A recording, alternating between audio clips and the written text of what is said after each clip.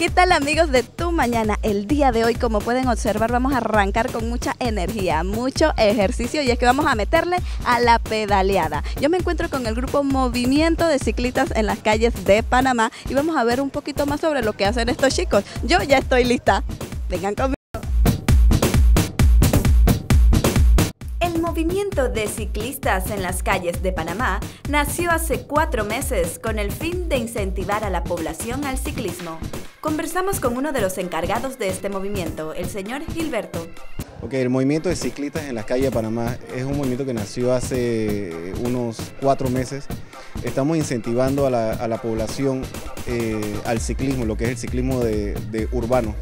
Más que todo estamos buscando que todas las personas que, no montan bicicleta, que agarraron una bicicleta, se, la compraron en, en Navidad diciendo que van a hacer ejercicio, que vengan con nosotros, que nos acompañen.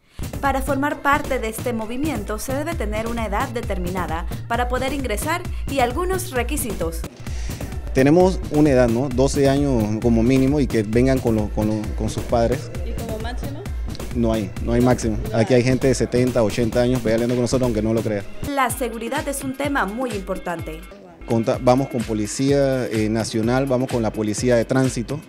Eh, tenemos cerca de por grupo de 15, 15 guías, de los cuales todas las personas van en una zona segura y nosotros como guías eh, somos los que marcamos la velocidad y el ritmo. Llevamos carro de apoyo por si la persona se siente que no da más o que quiere hacer un alto, se sube al carro de apoyo y nos espera en la, en la próxima parada.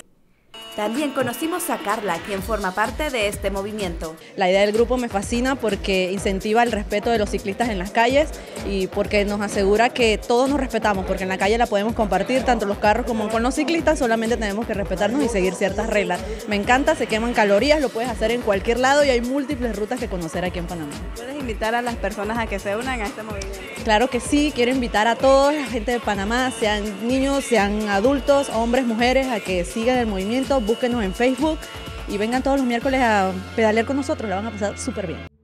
Luego de eso nos preparamos para salir. Los policías de tránsito se colocan al frente y los guías. Y bueno, yo también me acomodé en la parte de adelante a ver qué tal me iba. Aproximadamente manejamos unos 24 kilómetros de distancia, haciendo un alto en la mitad, a los 12 kilómetros, para hidratarnos.